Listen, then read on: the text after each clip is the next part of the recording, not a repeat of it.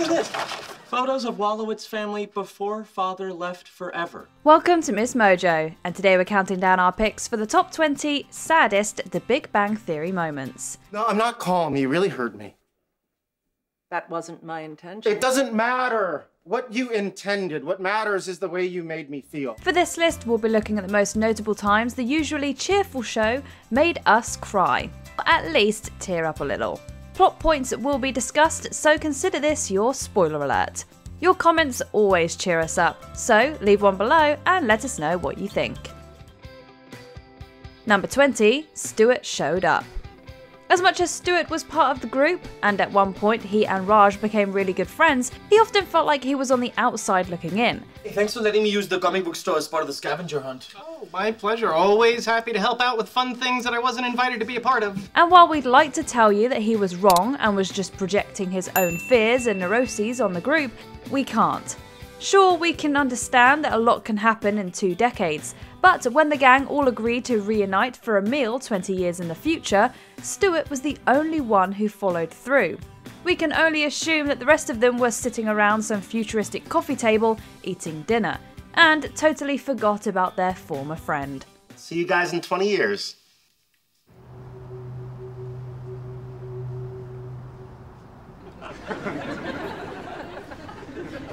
I know it. Number 19, Green Lantern had to watch Wonder Woman and Superman. Winning the New Year's Eve costume contest at the comic book store should have been a really happy moment for Leonard, and it was, at first. The guy's decision to get Penny to be Wonder Woman and her then boyfriend Zack to be Superman had paid off in victory. But then the countdown happened, midnight struck, and Leonard had to stand there and watch Penny and Zack kiss.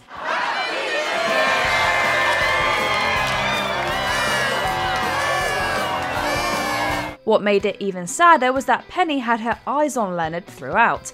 This gesture felt like acknowledging that she still had feelings for him, even though she was embracing Zack. If Zack and I have just gone to a regular club or a party, it would have been fine. But this, with the costumes and you. What about me? Nothing. Number 18, I Wish You Weren't Going. In the season 2 finale, Sheldon and the guys prepared to head off to the North Pole for a few months. Sorry, I was gonna tell you. Oh, hey! No, you don't have to apologize. There's no reason you have to tell me. I was just, you know, surprised.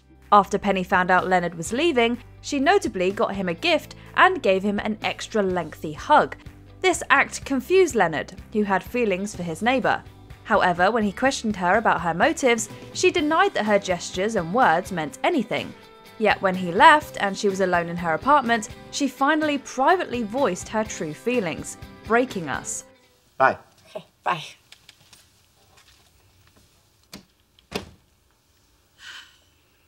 means I wish you weren't going. If she had just told Leonard the truth, we could have all had a happy cry, but instead, the moment was just a tragic one. Number 17, Sheldon feeling left out. We may not all be geniuses, but that doesn't mean we can't relate to a lot of what the guys, Amy and Bernadette, go through. In this case, it was Sheldon's feelings that hit us right in our hearts. When Dr. Cooper didn't get invited to an exclusive physics symposium, his feelings were hurt. A select group of scientists was invited to a weekend symposium at a former home of Richard Feynman, and I wasn't included. Sheldon, I'm sure it's not because I don't think you're an elite scientist. No one ever likes to be left out, especially when the thing you're being left out of involves your peer group. Sure, many of us can't relate to the whole physics symposium thing, but being excluded is something we've all dealt with at one time or another. Do you think there comes a point in life when it stops feeling bad to be left out of things? Probably not. It's an evolutionary advantage to be included in group activities. It's this relatability that really made the ordeal difficult to watch. Until Sheldon and Amy built Fort Cozy McBlanket, of course. The first annual Best Fort Ever contest, or Fort Off Art. Fort Knox, Fort Ticonderoga, Fort Sumter, and Fort Cozy McBlanket. Number 16, Priya cheated on Leonard. Allow us to start by saying that yes, we know Leonard also cheated on Priya when he repeatedly made out with Alice, the girl from the comic book store. I thought for once I'd met a good guy, but you're just another jackass. Oh, no, no, you have it wrong. No, I, I was going to be a jackass, but I stopped myself. However, with that being said, we also recognise that he ultimately stopped it from going any further than that, walking away because he felt bad about what he was doing. So when he found out that Priya did a whole lot more than just make out with someone, he was blindsided. I kind of cheated on you too. I, kind of. A couple of weeks ago, I slept with my ex boyfriend. And his pain over the dissolution of their relationship was real. Regardless of how you felt about Leonard and Priya as a couple, there's no doubt that they cared for each other, and seeing it end like that was unfortunate. Well, it's not a competition. Oh, yeah, it is, and you won. I, I, I'm sorry. I'm sorry. I have to go. Number 15, Penny cut from NCIS. To call Penny a struggling actress is almost an understatement. Before she switched career paths, her only noteworthy gigs, besides some small stage productions, were a hemorrhoid commercial and the low budget, low quality serial Apist movies. Oh, after I did it, I felt so ashamed. Thankfully, that thing never came out. Oh, I've seen that. yeah. Serial apist. So, when she got a small part on an episode of the big network television show NCIS in season 7, we couldn't have been happier for her. That also meant that when she found out her scene was removed from the episode, we felt her pain and devastation. It was even worse because she was watching with all her friends in excited anticipation. I'm, I'm sorry. That stinks. Sure you agreed? This doesn't make any sense to me. I, I, th- I thought I did a, a really good job. And... Excuse me. We still haven't fully recovered from this one. Number 14, why Sheldon knocks three times. Throughout the series, Sheldon's compulsion to always knock three times was a source of many funny moments. Who do we love? Penny. Who do we love? Penny. Who do we love? Penny. Hello, Sheldon. Come on in. However, the origin of the obsession and the reason why he did it is anything but funny, as he explained to Penny in season 10. During a heart to heart with her, he opened up about how, as a teen, he had walked in on his dad with a woman who was not his mum. I saw my father having relations with another woman. Oh, that's awful. I know. It's also why I never open a door without knocking three times. That's something no kid should ever have to see. He told the story in order to explain why he was being difficult when it came to compromising with Amy, but in doing so, he also mentioned that it fueled the reasoning behind his triple knocks, tugging at our heartstrings in the process. Number 13, Sheldon and Amy's theory debunked. One of the happiest moments of the show was when Sheldon and Amy won the Nobel Prize. However, in the lead up to that happiest of moments, the story took a few major detours in sadness. One such detour was the apparent disproving of their theory by a Russian paper from the 1970s. Well, Raj and I were chasing them down like you asked us to, and um, we came ac- across a, a Russian paper that seems to disprove super superasymmetry. Seeing the shock in their eyes was sad enough, and Sheldon demolishing the whiteboard just added to it. But the primal scream he let out after is when the devastation of the moment really hit the highest and most gutting of notes.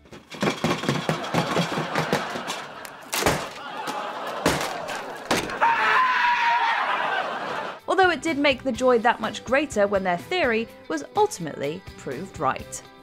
Number 12, Howard refuses to read the letter from his father. Two of the defining aspects of Howard's character were the fact that he lived with his mother and that his father abandoned the family when he was young. Why didn't you read it? Maybe he apologizes or explains why he left. He abandoned me and my mother. Why does he deserve a chance to explain anything? While he was often ragged on for the former, it was the latter that was sad. We always knew it had affected him, but it wasn't until Sheldon uncovered a letter from his dad, sent for his 18th birthday, that we fully appreciated the hurt Howard was carrying. He never opened it, actually opting to burn it in this episode. The group eventually came up with a clever way to share its message with him, but his not wanting to definitively know what it said showed the depth of the agony he felt. We felt it too. Actually, I don't want to know. I want all of them to be true. Well, one of them is. That's pretty cool. Number 11, Sheldon's Pop Pop. What started off as a fun Christmas themed game of Dungeons and Dragons ends with one of the saddest moments of the series. I get right up in Santa's big fat face and say, Well, well, well, jolly old Saint Nick, we meet again. Yeah, I believe the last time we spoke was in the Baybrook Mall in Galveston, Texas, when I was five years old. Isn't that right? In this scene, we learn why Sheldon has such disdain for the Christmas season, and more specifically, jolly old Saint Nick. And my mother dragged me there and she popped me down in your lap, and you asked me what I wanted for Christmas. And I told you my Pop Pop, because that was the year my grandfather died. I missed him, and I wanted him back. Sheldon reveals that his grandfather was the only person in his family that encouraged him to pursue science when he was a kid, and that when his Pop Pop passed away, he asked Santa to bring him back. Which, of course, didn't happen. Pop Pop was the only one in my family who encouraged me to pursue science. But you didn't bring him back, did you? No, instead, I got Lincoln logs. Now, you can build a lot of neat things out of Lincoln logs. But Pop Up ain't one of them. It's a funny scene, but it's underlaid with real emotional sadness. Number 10, Lucy breaks up with Raj. Although Raj seems to fall in love with pretty much any girl that looked his way, Lucy was the first girl he was probably truly in love with. I like you a lot, and that's scary for me. Mostly because you're a proven flight risk. Given her intense social anxiety, Raj had to work extra hard to get her to trust him and keep her from climbing out the nearest bathroom window. And he did. He was very understanding of her issues. He set up super romantic texting dates, and he was quick to apologise when he would push her too far out of her comfort zone. Oh no. Buddy, okay? But it wasn't enough. In the season 6 finale, Lucy agreed to meet the gang, but in the end, it was too much for her, and she broke up with Raj through text. Raj, I can't come to the party. This is all just too much for me. I don't think we should see each other anymore. Sorry, Lucy. Number 9, Sheldon says no to Amy. From the moment that Amy ended her relationship with Sheldon, fans were waiting for Shamy to get back together. I was thinking that, um, maybe I'm ready to be your girlfriend again. Needing a break from Sheldon was understandable, but these two were meant to be together. And most of us probably assumed that when Amy was ready to get back together, Sheldon would be too. Amy, I excel at many things, but getting over you wasn't one of them. But alas, no. And it wasn't just the no that was sad. His honest reasoning about how hard it was for him to get over her is something that so many of us can relate to from both perspectives. I think I need to just be your friend. Okay. I understand. Number 8, The Last Supper. As anyone who's ever lost someone knows, it isn't just sad when it happens. There are also moments that come along afterwards that bring back memories, and in doing so, bring the grief back up to the surface. Ma always kept it on hand in case I got sick. She thought she could cure anything with her cooking. That's exactly what happened to Howard after his mum died when the power went out at her house. Stuart was residing there at the time and told Howard that it had been out since the middle of the night. On the surface, this might not sound like a big deal, but it was to Howard, since all the food his mother had left in the freezer was going to go bad. It's all defrosting. Okay, it's just food. It's not just food. This is the last food my mother ever made. This and his choice to organise a dinner was portrayed in a heart wrenchingly real way. Let's invite everyone over to dinner. It'll be like Ma's feeding us one last time. I love that. Number 7, Penny breaks up with Leonard. I think we should talk now. Well, oh, no, it's okay. We don't have to talk because there's nothing to talk about. But everything's good. Yes, they've had their ups and downs, almost breakups, and so on, and they were sad every time. But this is the one that hurt the most. It all began when Leonard told Penny he loved her for the first time, and Penny didn't return the sentiment. I love you, Penny.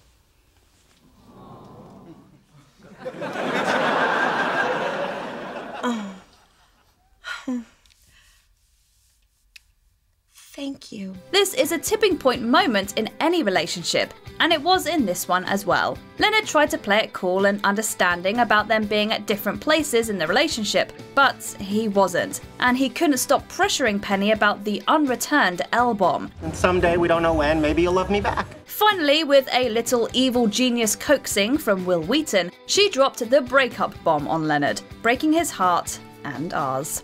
Tell me what to do, and I'll do it. No. This isn't fair to you, Leonard. I'm sorry. Number 6. Stuart's comic book store burns down. At the beginning of the series, Stuart went on a couple of dates with Penny, and in the final season, he falls in love with a great girl and they move in together. But in between those high points, Stuart had a whole lot of lows, and no moment was lower or sadder than when his comic book store burned down. What happened? I was cooking in the back room last night and the hot plate caught on fire. For a guy who already seemed to be having a tough time with life, seeing his business destroyed felt like life really was picking on him. I don't mean to be rude, Sheldon, but uh, my life is kind of falling apart right now. The studio audience's shocked and saddened reaction to the destruction is the perfect sonic representation of what we all felt in that moment. Number 5. Sheldon is a selfish jerk. You are a selfish jerk. To hell with you and your Nobel Prize. Sheldon being selfish and inconsiderate was the source of much of the comedy of the show, but his selfishness hit a high point in the series finale, and it wasn't funny. You just found out that a woman who has loved and cared for you for 12 years is pregnant, and all you can say is you're relieved that she's not gonna get you sick.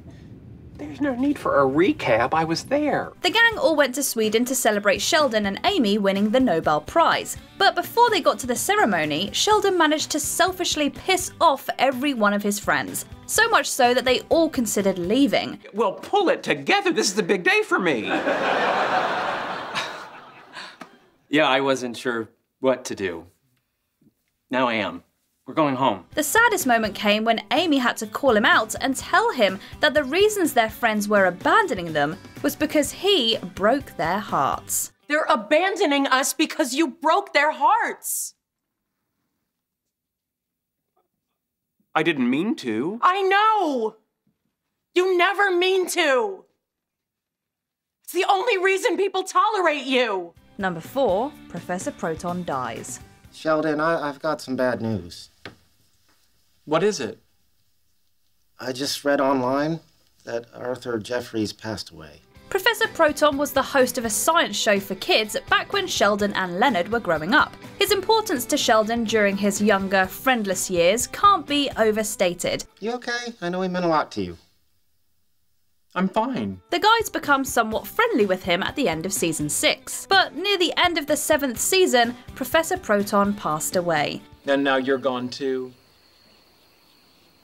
It's like all the men I've looked up to have gone away. At first, Sheldon acts like it doesn't affect him, not going to the funeral and focusing instead on Star Wars Day. But when Leonard returns from the funeral, Sheldon can't deny it anymore. Did you know that Arthur's son is a high school son?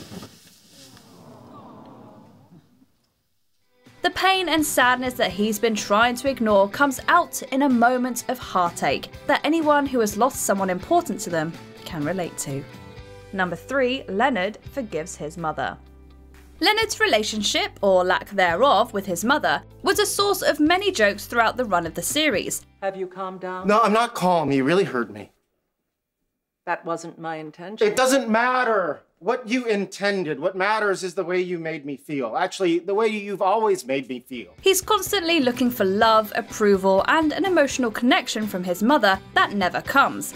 Although in one of the final episodes, things seem to have changed until Leonard realizes she was just doing it to gather information for a new book. This has all been work to you?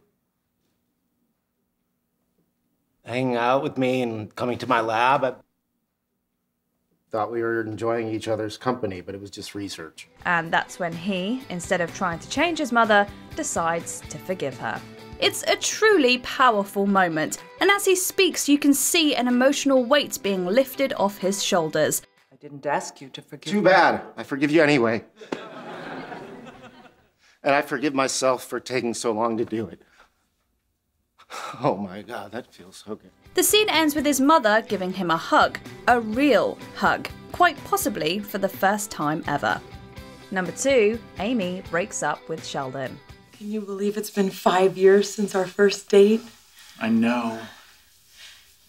Do you think I should start watching the Flash TV show? As patient and understanding as Raj was with Lucy, Amy was 10 times that when it came to her relationship with Sheldon. And there was no doubting that they both truly did love each other, which made their breakup that much sadder. This isn't easy to say because I love you, but I need some time to take a step back and reevaluate our situation. This wasn't something Amy wanted to do or was happy to do. It was something that she needed to do, even though it was hurting her as much as Sheldon. I hope you understand. Okay. Bye, Sheldon. And as if that wasn't sad enough, this moment turns the sadness meter up to 11 when we found out that Sheldon had a ring and was planning on proposing to Amy before she ended things. Well, Gollum. You're an expert on rings. What do I do with this one? Before we continue, be sure to subscribe to our channel and ring the bell to get notified about our latest videos. You have the option to be notified for occasional videos or all of them. If you're on your phone, make sure you go into your settings and switch on notifications. Number 1 Howard's mother dies. Yeah, you okay? No. What's wrong? My mom died.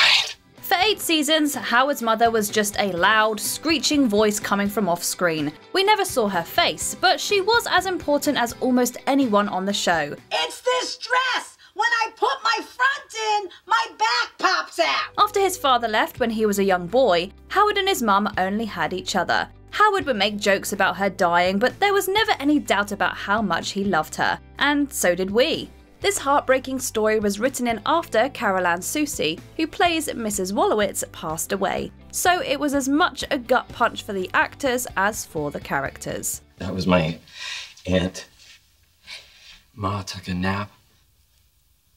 She never woke up. If you didn't shed a tear at any of the other moments on this list, there is no way your eyes stayed dry for this episode. It's Mrs. Wolowitz, uh, loving mother to all of us. Do you agree with our picks? Check out this other recent clip from Ms. Mojo. And be sure to subscribe and ring the bell to be notified about our latest videos.